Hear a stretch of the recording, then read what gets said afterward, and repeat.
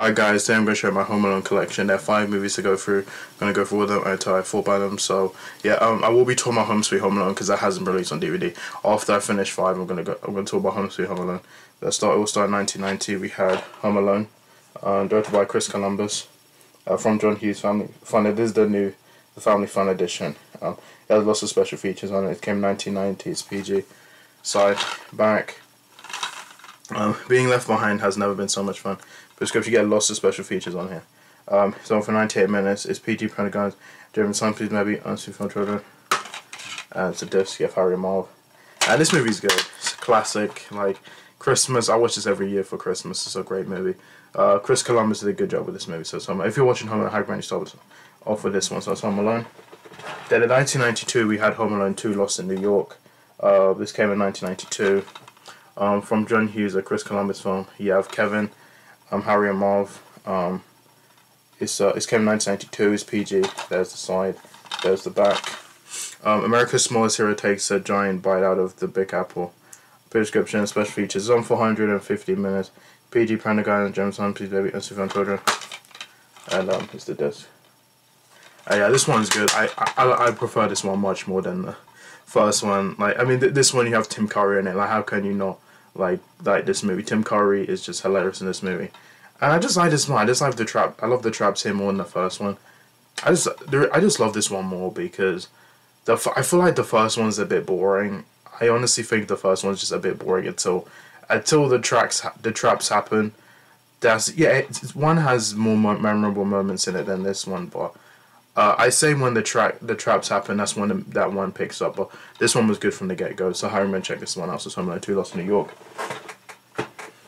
Then 1997 we had Home Alone 3. This was the first one not to feature Macaulay Culkin as um Kevin. Um, this came 1997. This stars Alex D. Linz. It's PG. Side. Back. Big laughs. A real life kid pleaser. Zone for 98 minutes. Pre-description, special features. It's PG Pentagon, German Science, maybe answer from children. And there's this.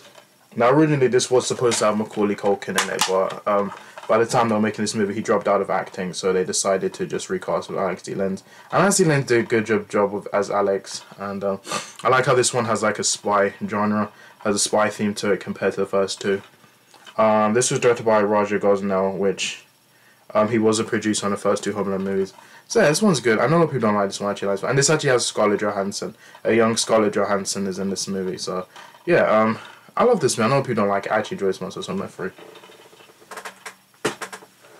Now, in 2002, we had Home Alone 4, um, also known as Home Alone Taking Back the House. Um, you have Kevin, Harry, and Marv. And, um, no, you have Marv and you have Vera. And um, this came down to it's you, side, back. Um, it's tough being 9, prescription. It's on for 83 minutes. It's a Universal Super for all. And there's the disc. And this is this was a TV movie that came out in 2002. Uh, I watched this years ago. Um, um, I don't like this. Man. I think this is the weakest of the Home Alone movies because I just I feel like this one is just so low budget, and as you can tell, this is just like TV movie. And yeah, this was actually supposed to start a TV show. It was supposed to start. There was supposed to be a Home Alone TV show. This this was technically supposed. This was technically supposed to be the pilot, and then it was going to be a TV show right after. But because it didn't do well, they decided to just make release this as a movie, and then we didn't get the TV show. But I, I, I the cast is okay. I don't like the person who plays um Kevin. I don't like him, but uh, French Stewart is okay. nowhere near as good as like Joe Pesci, but yeah, so Home Alone four. Um, yeah, 2012 we had Home Alone: The Holiday Heist. Now, um, this came in 2012. This is also a TV movie, and this stars Finn. It doesn't have Kevin in it. Uh, this came in 2012. It's PG. Side, back. Prescription is on for 86 minutes. Um, um, it's a PG mild bad language, and then it's the disc. It's a plain grey disc. And um, white disc. Oh, uh, yeah, this was a TV movie. I watched it, I think it was the 2013 I watched it. I watched it on TV. And it was okay. This one is much better than Home Alone 4. Uh, at least this one, the budget's a bit better. And the, the acting here is way better than Home Alone 4. Uh, yeah, Malcolm McDowell's in, they waste Malcolm McDowell in this movie. Yeah, he's in, yeah, that's him. That's Malcolm McDowell, which you probably know him from, um, is it Clockwork Orange? Yeah, he was in that, um, uh, yeah, so it's Home Alone Holiday Heist. I highly recommend you check this one. It's much better than Home Alone 4. Um, yeah, so I think I think the traps are better here than in four. There wasn't really even traps in four. In four, he just uses the stuff in the house. And then I'm gonna quickly talk about Home Sweet Home Alone, which um, there's gonna be a picture right next to me. Um, whenever there's gonna be a picture, and um, so at Home Sweet Home Alone, this was um the sixth Home Alone movie, and this one was um. Um, this was on Disney Plus. Um, during the it came out during the Disney Plus day, and I did a review on it, and I I I've, I enjoyed it.